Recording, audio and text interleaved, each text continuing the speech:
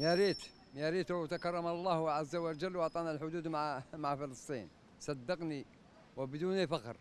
أخي جزائري في عمره ربع سنين يقول الله إلى الجهاد.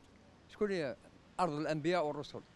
قتلت الأنبياء والرسل. يقتلوا في أخوات خواتنا يجي يكتب فيهم كل بطاطا وهنا نتفرجوا. كون عندنا الحدود. مع الأسف الشديد ليس لنا حدود. والأجواء مغلقة من طرف مصر. ما نهضرش على ليبيا اللي فركتوها ولا. حنا راهم اليهود راهم عقابنا واش نقول لك. مع الأسف الشديد سلمنا أرض المقدسة. ب- بيت سبحان الله. الحجه ناقصه. الحجه نحجوا قبل بيت المقدس باش نروحوا لمكه المكرمة. واش رأيك؟ صلاة صلاه كنا نصلوا القدس مي خالق الأكوان على بالو بلي نهار قالوا بدل القبلة تاعك. مع الأسف الشديد. نعم. نعم وينصرهم بإذن الله العلي القدير سينصرون حتى وقتلوا نصر الله وقتلوا الله يرحمه.